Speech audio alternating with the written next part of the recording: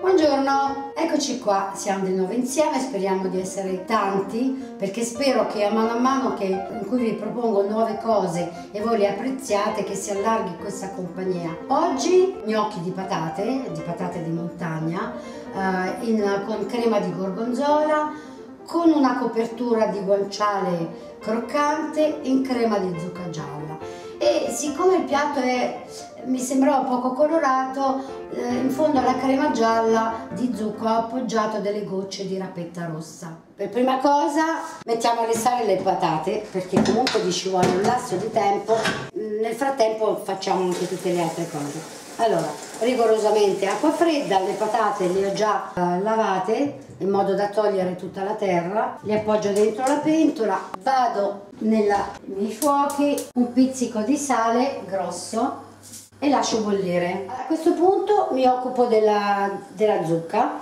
tolgo la scorza della zucca, la zucca è circa 300 grammi. Questa è pronta, ma mi occupo prima dello scalogno perché è quello che metto subito a, a cuocere nel frattempo che taglio la zucca. Cerco di tagliarla più sottile possibile perché così fa prima la metto mio tegame vi aggiungo circa 50-60 grammi di burro e vado ai fornelli quello piccolo perché ho bisogno di far stufare lo scalogno lentamente per non far bruciare eh, il burro ed evitare di aggiungere se possibile altri liquidi di cottura. Nel frattempo ritorno alla mia zucca gialla e la taglio abbastanza sottile così si cuoce anche prima. Mi porto avanti facendo ammorbidire la rapetta rossa. Io l'ho comprata già cotta perché me ne serve veramente poco e quella che avanza la mangio in insalata. Quindi prendo un piccolo tegamino, la prendo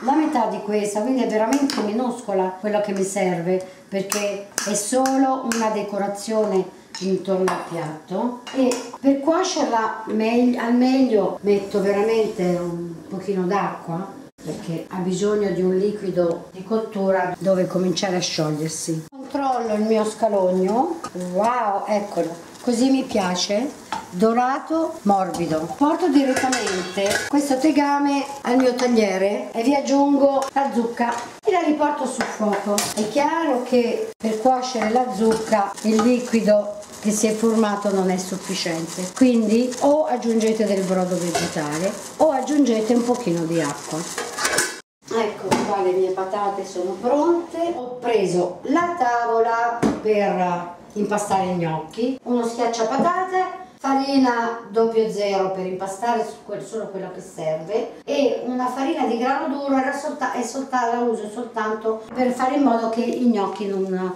non si attaccano. Quindi adesso inizio il lavoro carino. Allora patata è un po' scotta non molto ma preferisco così. Sono delle patate di montagna quindi non sono neanche innaffiate. È chiaro che anche la farina sarà pochissima solo quella che basta per raccogliere le, per impastare le patate. Ecco qua.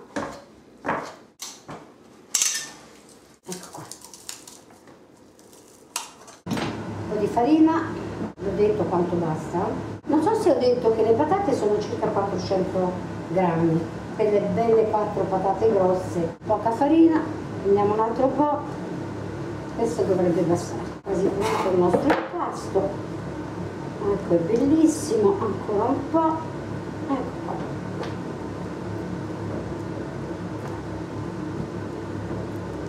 Qua ecco fatto veramente pochissimo. Patate meravigliose e impasto uguale.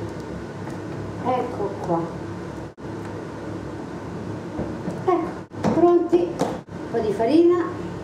Ok iniziamo. Pezzettino di, di impasto. Lo allungo.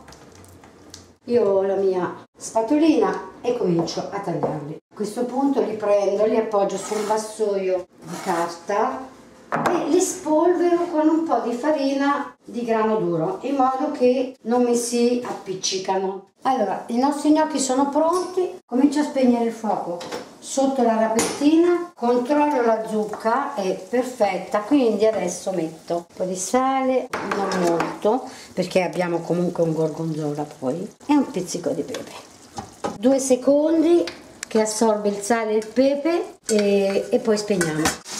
Preparo l'acqua per i gnocchi. Nel frattempo che bolle l'acqua io preparo le varie creme. Adesso prendo un frullatore, travaso la mia zucca e vado a mixare il tutto. In questo modo la nostra crema sarà pronta.